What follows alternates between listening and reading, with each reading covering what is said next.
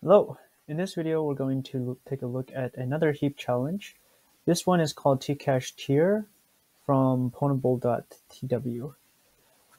So I haven't looked at this challenge yet. We're going to be solving it together. Hopefully it will be straightforward. This is 200 points. Uh, the description here is make tcache great again. We have a port to connect to and the binary as well as the library. So I've already copied the binaries uh, to my machine. And we can see that the libc that's used here, we can just run it. Uh, we can see that it's version 227. So this is a relatively, currently it's an old version of libc, but uh, lots of Linux machines probably still use this version. My uh, WSL actually uses libc 227. This is perfect because I don't have to change any of the interpreter paths for this binary. I can just use my uh, the library on my machine.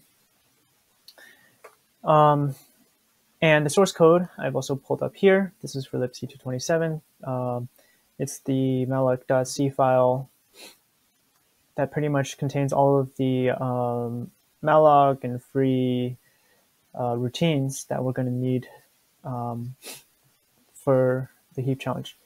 So the first thing I'm going to do, of course, is open this up in IDA um, so we can take a look at what exactly is happening here. So let's open IDA.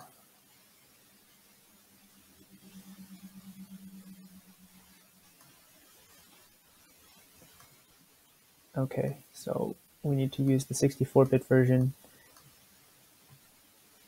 Right, yeah. Okay, so if we look at this program, let's jump to main. Okay, so this is a very typical heap setup where we have a menu and we have a bunch of options that we can take. So let's take a look at the decompilation. So here's the decompilation. Let's uh, look at this first. So this function looks like it just sets up the um, buffering for the standard um, file descriptors. And we also set a handler for this signal, which uh, looks like it's probably a alarm handler. So let's look at, let's search signal and let's tab through till we get to SIG alarm. This is for 64-bit uh, uh, Unix, so this is exactly what we're looking for. And the alarm is run for 60 seconds. So of course, you know, if we want to uh, see how this works, we can just look at the manual pages for alarm. And we can see that in the man page, alarm arranges for a SIG alarm signal to be delivered to the calling process in uh, the argument seconds, right? In this case, we are setting the timer to 60. So this is going to be one minute. And then it's going to trigger this handler. So the handler here uh, just prints timeout and we exit. So of course, you know, since we're going to be automating this, um, we should be okay in terms of meeting this um, alarm or this timeout condition here. Uh, so yeah, this is just uh, like a setup function. So after we set up, we print uh, name. And I'm not sure why printf here takes two arguments. Um, but yeah, this is just some decompilation uh, business here, I guess. And then what we're doing is, okay, so we have something else here. We are setting v3 to this guy, which looks like some uh, some array in the uh, BSS or uninitialized data section. So let's see. So, okay, so that's 40 bytes. Okay, so then what are we doing here? So, okay, we're taking this and we're calling this function. Okay, so it looks like the binary is prompting a name and then we are reading something. Uh, and then after that, we are taking, so this is the number, let's say in bytes read. Okay, And of course, if this is if the return value is negative, then there's an error. Um, otherwise, what happens is okay. So we take in bytes read um, minus one plus a1. a1 here is this uh, buffer. So let's just call this, uh, this is probably name. So let's just call this name. And so a1 is just some buffer. Uh, so essentially this is going to,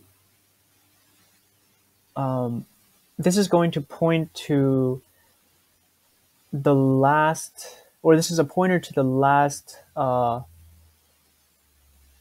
character that was read. Yeah. So we can do something like this. So here we have check if the last character is a new line, right? Then uh, we're going to basically set that to a null byte, right? Basically to terminate it with null. Um, otherwise, we just uh, return here. And I don't think the return value is actually used. Um, so yeah, so it's uh, yeah. So this function here just reads, and it looks like it calls recheck. So this is probably the um, size that we're going to read. In this case, we're going to read 32. Recall that our buffer here is size 40, so there's no not really any overflow issue here. Um, but let's just call this read buff. Okay, and then we initialize some local variable to zero. Let's say that this here is name pointer. So this points to name. And we see that it's used down here as well. So what happens here? Okay, so this just prints a menu. As you can see, we have four options. We can allocate, we can free or delete, we can probably get some info or print something, and then we can exit. So this is print menu. Um, so uh, we have kind of like an infinite loop here, just basically repeating this over and over. So what happens here? Well, um, okay, so this, okay, what is happening? So this is a cannery, not important for us. Um, this is not even used.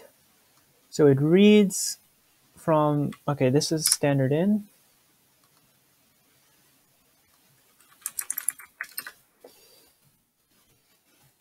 Um, and it reads into this thing here.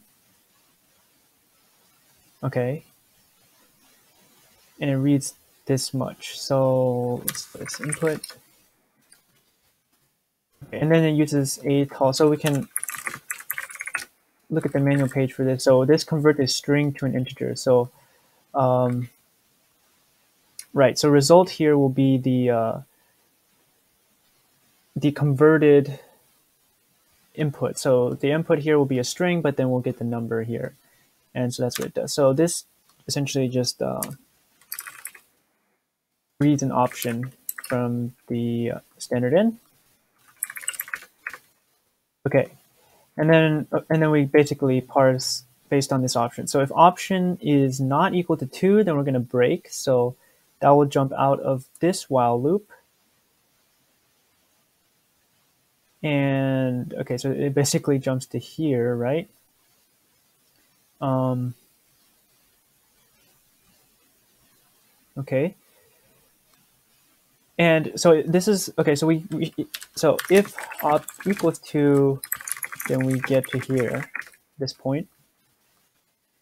Uh, and then we compare this variable with 7. If it's less than or equal to 7, then we perform these options. Otherwise, we skip. So if we look at the menu here, 2 is to free or delete. So we do have a free here, but then we increment this. So this is some sort of counter. Um, so it's initialized to zero, and we only can perform this action a total of eight times, right? Because we're incrementing every time, and we uh, only perform this action if counter is less than or equal to seven. So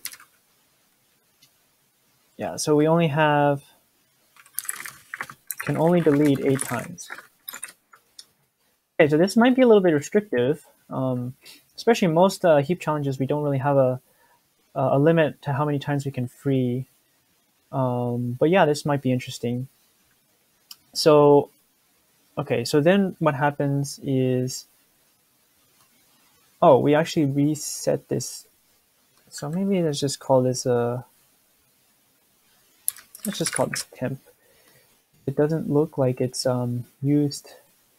So we have another, okay, so this value is set to pointer, which is another uh, entry in the BSS section. Oh, okay, so this basically, yeah, frees that pointer. Okay, so if it's not equal to 2, if opt is equal to 3, so what is 3 again? It is to, okay, so 3 is info. So if it's equal to 3, then we go here. So let's just name this here info. What does info do? It prints name, and then it writes to standard out 32 characters at this. So remember, we got to initialize this here. Okay, so that doesn't seem too interesting, too useful, because essentially that's just printing out what we put in, right? Yeah, not sure what uh, what that does, but you know that could be uh, could be useful. If the op equals four, that just exits, right? Um, and otherwise, we print invalid choice. And okay, if opt is not equal to one, then we jump to here. Otherwise, we go here. So what does this do here? Let's take a look. So this prints size, and then it reads, okay, maybe this is, maybe we should say read num, uh, because this looks like, so this is the requested size. And if the requested size is less than or equal to 2, and so, so less than essentially hex 100, then we malloc the requested size. Okay, so this is where we allocate. Um, let's call this alloc. And then we read into this pointer uh, size minus hex 16 or hex, uh, oh, sorry, 16 or hex 10. So for example, if we requested 24, then we would only read 8. So actually this kind of really strictly prevents overflow here, um, which is a good thing. Uh, not necessarily efficient because essentially now we'll have uh, a lot of inaccessible data in chunks, but you know this effectively does prevent um, overflows within the heap chunk. And then we print done and return. Okay.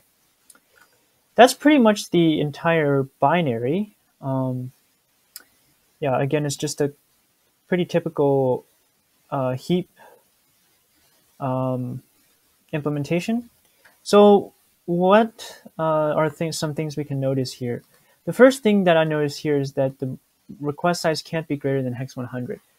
What this means for us is that all of our requests that we get through this um, binary are going to be from are going to be in Tcache size chunks, right? Because the largest uh, Tcache I believe is hex 410. Um, yeah, I think that's right. Um, and obviously that's way larger than uh, hex 100. So yeah, all of the um, requests will be from Tcache. So uh, we'll never really be able to free one of these chunks directly to um, to say unsorted bin. And especially this is true because if we look at the free here, um, we can only free a total of eight times, right? And if you know how the Tcache works, the Tcache can only hold up to seven chunks. So in order to free to unsorted bin, we would have to free seven times, and then we'd have to free an additional time to uh, to get it into uh, unsorted bin. You know, so if we were trying to get a libc leak, we'd have to do something like this.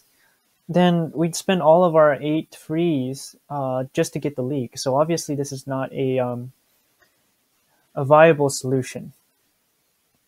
Right, so it seems like there's a lot of restrictions here. So the way to exploit this is uh, to note that, well, the vulnerability, first of all, is uh, is essentially a double free to Tcache, right? Because uh, we know that in libc 227, there's no check for double frees uh, to Tcache. Uh, Tcache is essentially it's essentially unprotected. I mean, there are some small protections. Um, there's not even an alignment check for Tcache. I think there's no size check in 227 for Tcache. Um, so yeah, the essential strategy is to double free.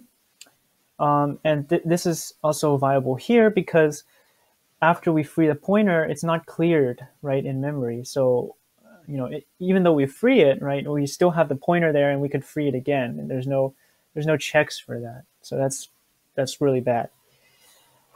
Uh, yeah. So then, what is the strategy? Because we know we can't free directly to unsorted, and we do need a libc leak in order to um, overwrite, say, free hook with uh, with system, right, to get a shell. So the strategy here, I think, is we can use the fact that, um, so the important thing, right, is the only leak that we get is from here.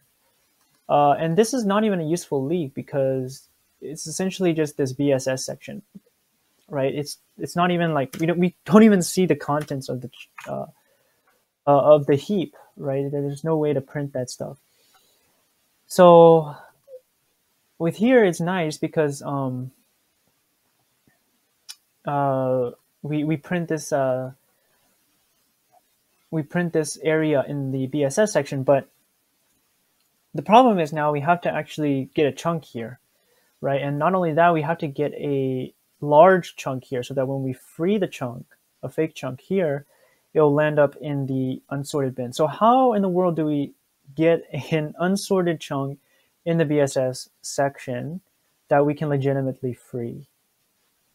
So that's a good question, but um, but note that this arbitrary write that we get from Tcache is extremely powerful, because not only does it allow us to poison the Tcache to get a chunk, you know, wherever in memory we want, but we can also use it to craft uh, to build our fake chunk, right? So, for example, what I'm thinking is something like this, where right? So we have the name in the BSS, right? And where is this at? Let's see. So name is at 602060. So if we can create a fake chunk here, right? So this is basically 6020 is here, right? And let's say we have a huge chunk here, so like 420, 421, just to say that the previous chunk is in use. Um, okay. And then we, you know, we actually create this fake chunk. So we'll have, you know, some data here, doesn't really matter, right? Um, one point to note here is that we do have this pointer at 602088. So this is 60, 70, 80. So, you know, we'll have some more data here, but then we'll have this, you know, pointer. We want to make sure that this is kind of intact. But then, you know, we'll have a bunch of other data, but then at the end here, we can essentially say, we can have a, you know, we can have a chunk, say of size 21, that's basically saying that this chunk is in use, right? Because this one bit means that this chunk is in use. And then when we free this chunk here, it will be free directly to unsorted bin. So the question is, what is the address of this guy here? And that's easy because we know that uh, we just have to add hex 420 to, to this address, which is uh, 602060. So if we do the math there, it will be uh, 60248. Yeah, that should be right. So this is the address essentially of this. Okay. Um, okay, good. And one thing we have to worry about here is also that yeah, let's try this first and see see what happens. So we're just going to craft this fake chunk. So the way we're going to do that is first we're going to get a fake chunk here by poisoning the Tcache. We're going to write these two values.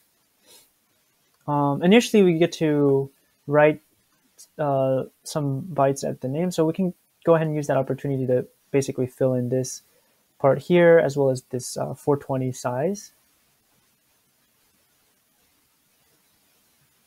Yeah, so let's go ahead and do that. Um,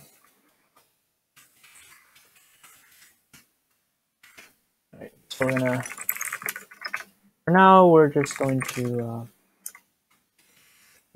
do this.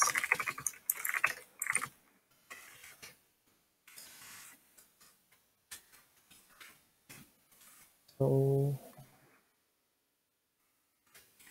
okay.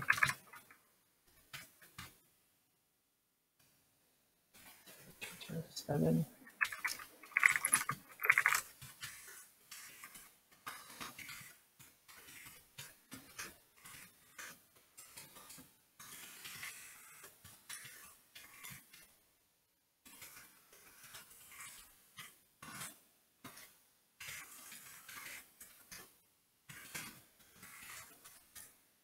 Oh, what am I doing? This should be, let's see.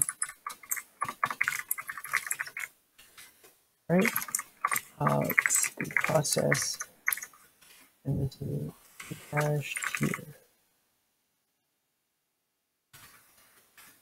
All right.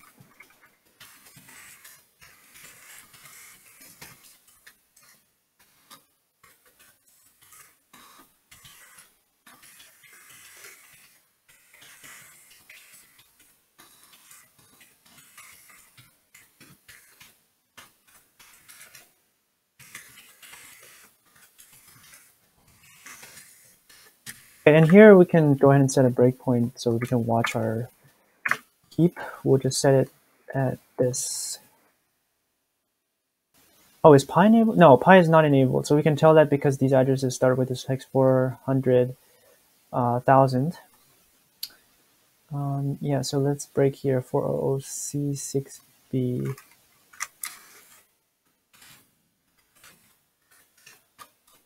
Okay, so our exploit code here. First thing I'm going to do is just uh, write some functions to help us manage the, uh, communicate with the process a little bit easier. So um, first thing we want to do is flush. So flush is just going to receive and it's going to throw away all the stuff until we get to this colon. Okay, and then we're going to define a menu. So what menu is going to do, um, let's do send number as a line.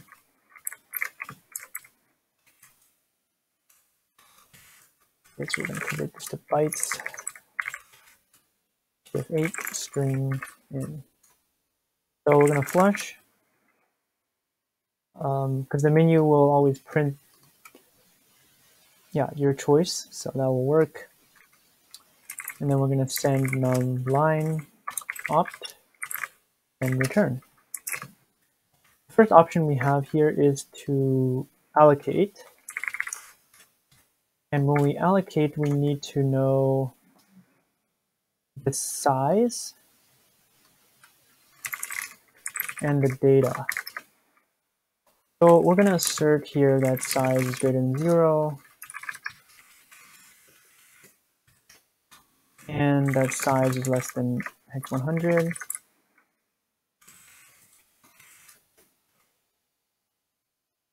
And we're gonna trim the data so that um, we, can, we, we only read up to size hex minus hex 10.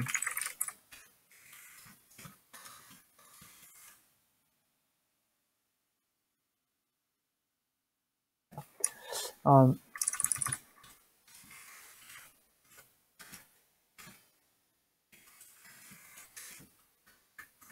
we'll do that. And then we're going to uh, do menu one. So that will select option one. Then we're going to send uh, flush first. Send num line uh, size. flush. And we're going to data.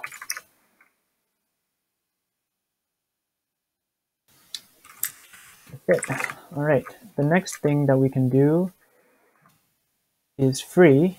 So I'm going to call this delete just to not confuse it with the actual glibc free. And we don't need to pass anything to this, right? Because um, because here we can see that as long as you know that's good, then it's uh, as we don't free more than eight times, then we're good. We can actually implement that ourselves here as well. Here is num free, or let's say counter just to match our IDA here and zero. So So if counter uh, is greater than or equal to 8, so let's say it's equal to 8,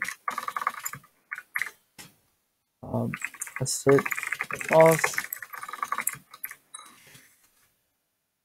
uh, too many frees. Again, we don't really need to do this as long as we keep track of it ourselves, but you know, if we do accidentally uh, call this too many times, then it, it's nice to have it, you know, in Python rather than in uh, trying to figure out what happened there. Uh, yeah, but then if this is fine, then you just do menu two, and that's it. Just return. Next one was info. Info also doesn't take any arguments. It doesn't read anything. Um, so select menu three, and we're going to flush.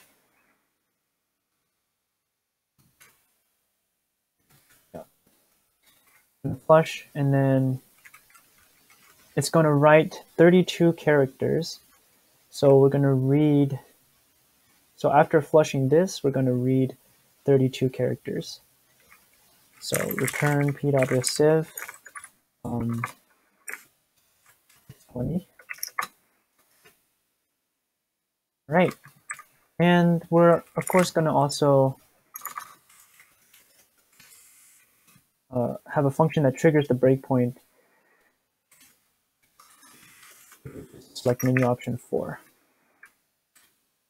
Okay, so this pretty much sets up our interactions with the uh, with the binary. So now let's try to do some of these things. Uh, in terms of the exploit. So again, the first thing we want to do um, is to leak libc. That's our first goal. Okay, so in order to do this, again, we need to um,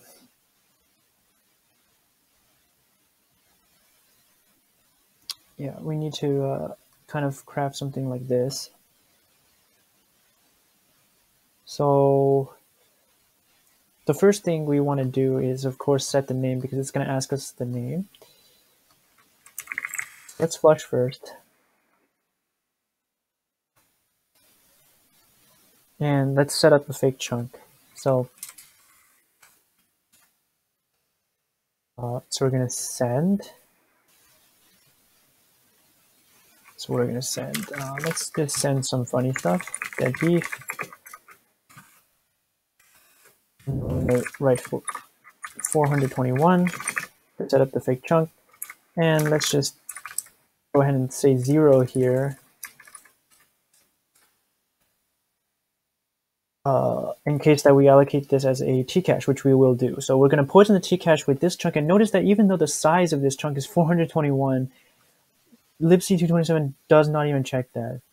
Um, so it will allocate gladly, it will happily allocate this chunk for us at this fake area, and then when we free it, it will, you know, have this different size, which is perfectly okay with libc, uh, which is really bizarre. Okay. So now, um, uh, what we'll do is let's just allocate uh, size say x28. One. So this will be from the heap. And of course we're going to double free, or I think I called it delete. This will double free that. And then now we're going to poison the T-cache. So the way that this works is we're going to alloc um, hex28 again, and then this time we're going to write the location where we're going to write to next time. So, you know, we're going to, we want to write to here, right? So uh, 602480. Uh, to make this a little bit easier for us, we can we can hard code this in here. So um, name is 6020, what? Let's see, 60, okay. Oh, we're gonna do, uh, we're gonna poison it with name prefix x420. And this will essentially allocate at the bottom here, just like we mentioned. Um, okay. And then we're going to allocate again. This will return the same uh, chunk, right? Because the forward pointer of this initially is just itself. Uh, but now we've poisoned it so that the next time we allocate, it's going to be uh, to the, that chunk at the very bottom um, of the BSS section. So now we can allocate 128. Um, and here we can write a cafe babe. And we're just going to create a fake chunk here, size x21. Uh, this one here just is important because it shows that the previous chunk is in use. And let's look at what the heap looks like here. So, all right, let's run this and see what happens. Let's continue. Oh, what happened?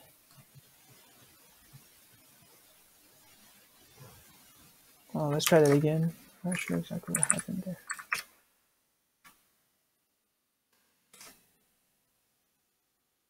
Okay, be fine this time. So we hit the breakpoint.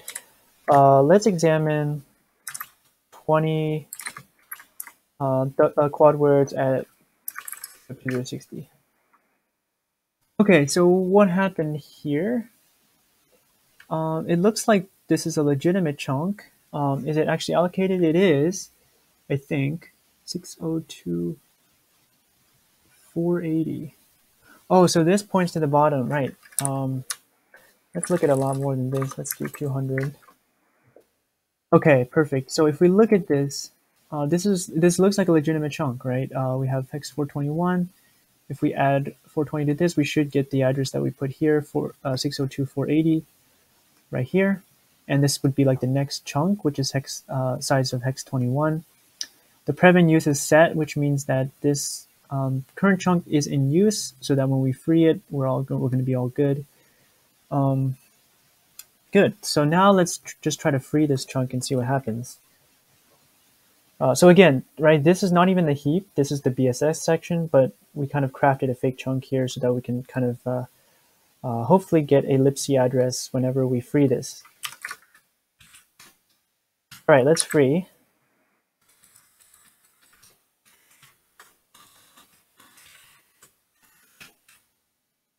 And let's see what happens.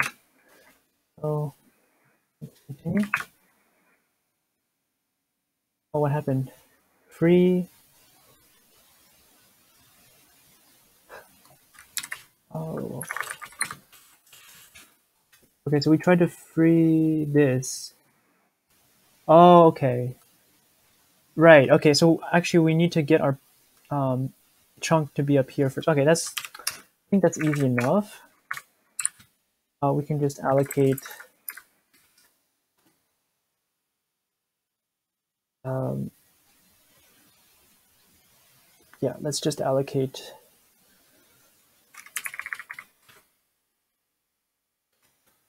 um, let's do another double free. So these will come from the actual heap.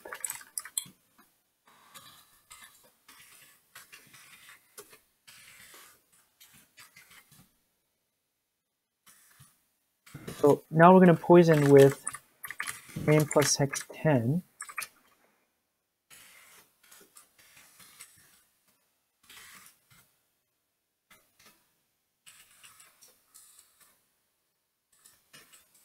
And uh, yeah, so the next time we alloc it's going to be at our fake chunk. So that should write this data there. Before we delete, let's just uh, look at what the heap looks like. Right. So let's continue. Okay. Um, okay, so let's see if we did this successfully. Okay, so it looks like we did. Um, this looks like the ASCII for fake chunk, just at first glance. Uh, good. So just looking at this chunk, it looks pretty good. And now if we look at our pointer, which again is part of this chunk now, it's pointing to here. So our chunk is indeed here. So now we can free it. All right, let's do that. Going to delete. And hopefully this will put this chunk in the unsorted bin. Okay, what happened? Corrupted size versus previous size. Oh, that's strange. Let's look at the glibc source code.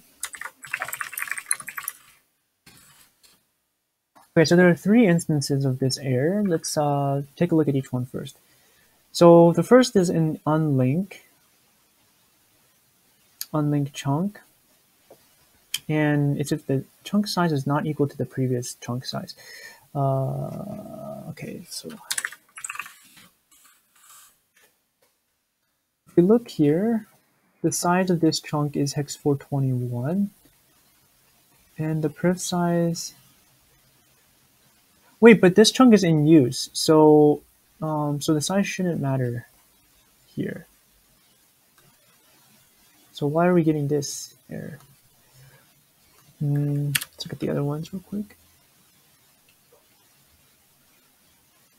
So it wasn't this error because this would have while consolidating.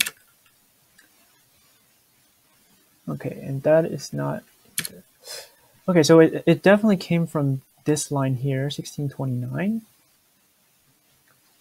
Um, okay, so what calls unlinked chunk? Let's look at the backtrace real quick. Okay, so int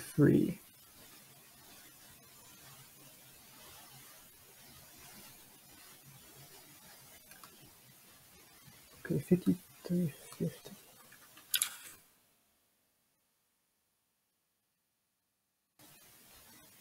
Um, hmm, strange. 4395.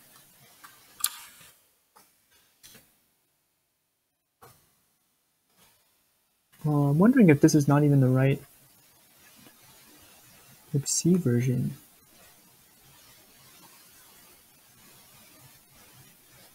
3124. Yeah, this might not be the right one. Uh, hmm.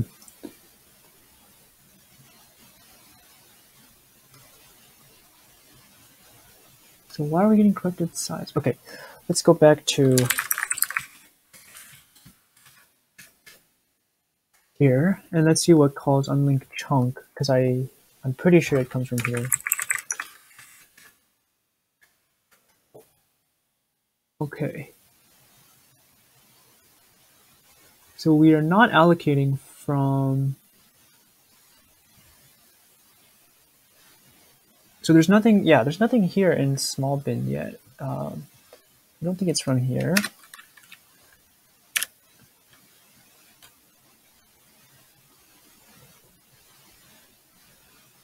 Maybe it is during here. Oh, okay. Okay, I think I know what's happening. So if you look here, um, we're going to try to consolidate forward.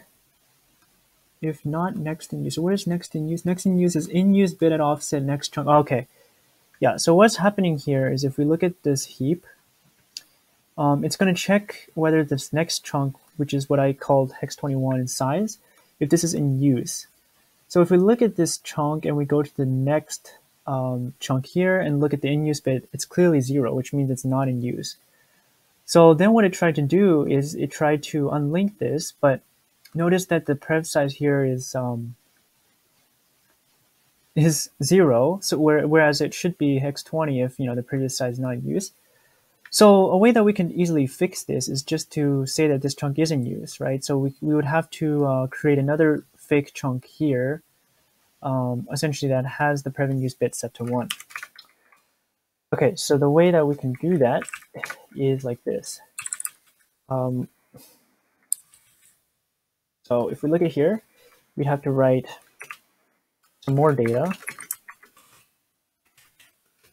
And then we could do another 21 here. And this prev in use will basically prevent this from being consolidated.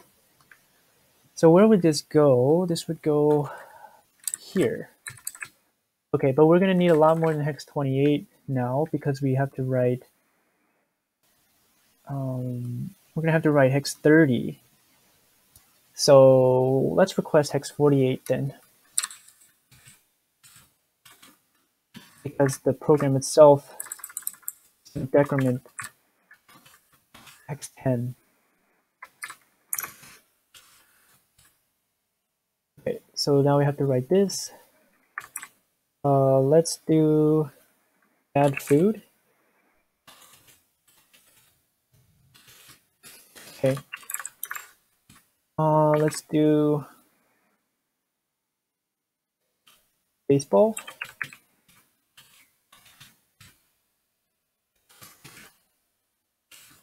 Right? And one more. I'm not really good at coming up with these. I'm just going to use dead beef again. And X21. Okay. So good. So now what this will do is put that fake chunk there and this should work. So let's try it out and see what happens.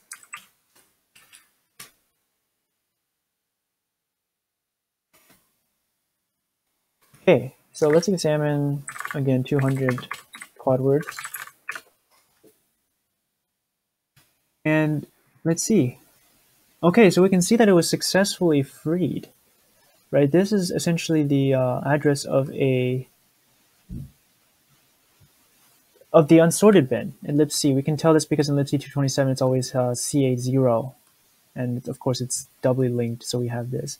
And also note that um, these two fields were also cleared out, so our pointer here um, is set to zero, right? Even though it should be pointing to here. Yeah, okay. So, um, and then notice now that um, here, this hex 21 originally is now set to hex 20, which indicates that this chunk is not in use. And indeed, you can see that libc wrote the, the size of this chunk in this field here. So that's correct.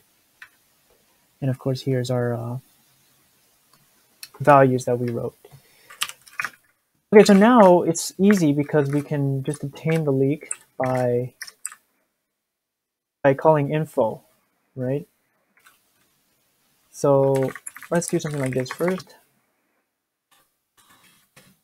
So we're going to do unpack64 uh, info.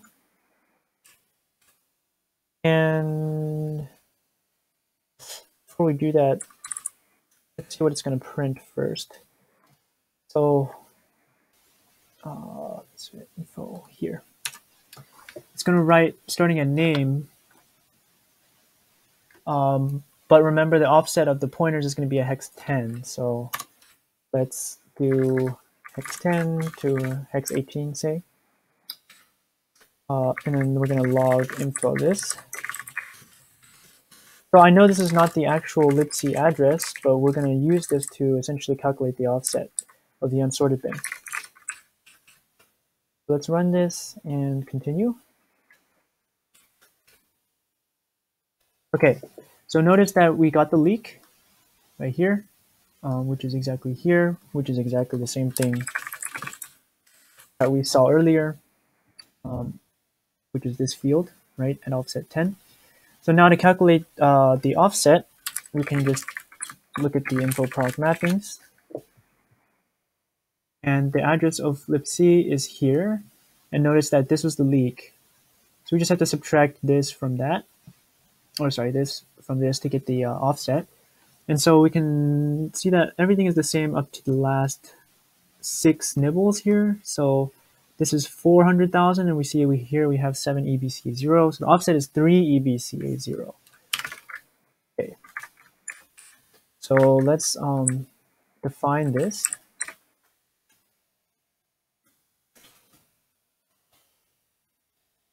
Um, EBC0. Now we can subtract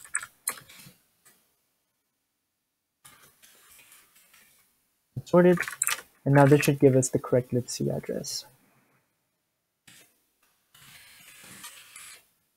Okay, so if we see the libc here is uh, 7f76 2b400,000, and we see that exactly that is what we have here. Okay, so the leak is good, and now the rest is really easy. Uh, we just need to double free poison Tcache with uh, free hook and overwrite with system. Before we do that, let's see how much, um, how many frees we've used up already. So this is one, two, three, four, five. Still have three more. Um, okay. So um,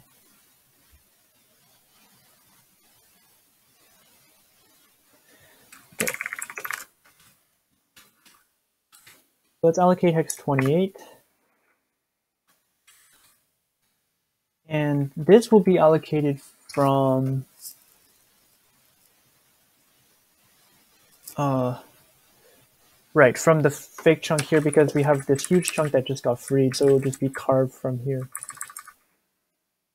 But we have to make sure, be careful that we uh, we don't overwrite pointer, right? So if we have hex 28, um, uh, so the chunk size here will be 30. Yeah, and that should be fine. And of course, we can always check that later as well. So chunk 3,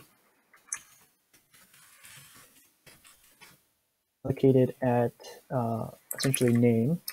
Um, and let's just see what happens here first. So let's continue. Good. Right. And indeed, we see that uh, we're all good, right? The next, uh, the pointer is safe. it's inside of our chunk. Um, and, you know, the next uh, we essentially create this last remainder chunk, right? That is, uh, we can see that it's uh, linked to the unsorted bin. And now the size is hex3f0. Good, so uh, now we can again do a double free. So this will be number six. This will be number seven. Okay, so we only have one more, and that's just perfect, I think. So now we're going to poison the Tcache with let's see that symbol hook. Um, and then we're going to alloc again. Will be allocated from the same place as this chunk here. And the next time, this will be allocated at free hook. What are we going to write there? Well, obviously we want to write system.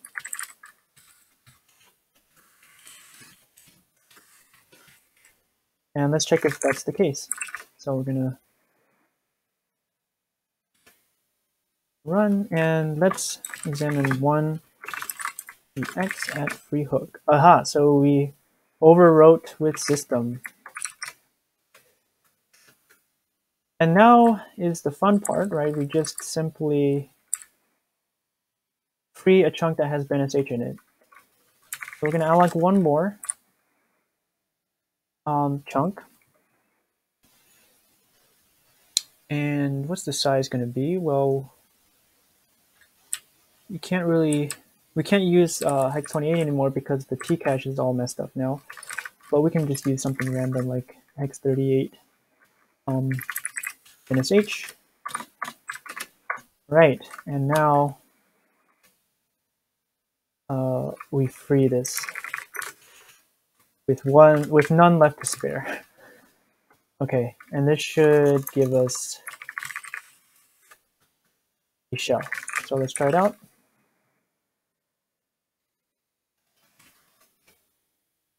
Aha, so we got bin Dash, and let's, uh, perfect. Okay, so we got a shell. Exit, and let's exit. So now let's do this for real. Let's attack the actual target here. All right. Oh man, this is really slow. So let's just wait for it to finish.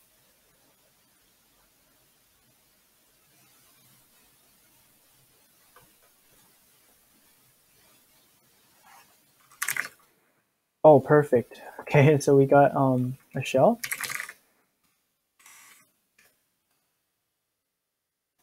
Okay, I don't see if maybe it's in home.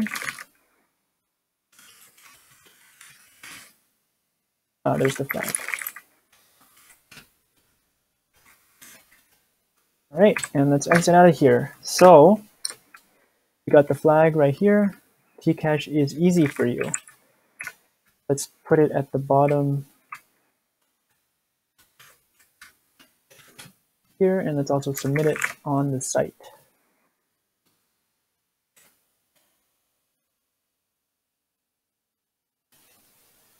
All right, and we got the correct flag.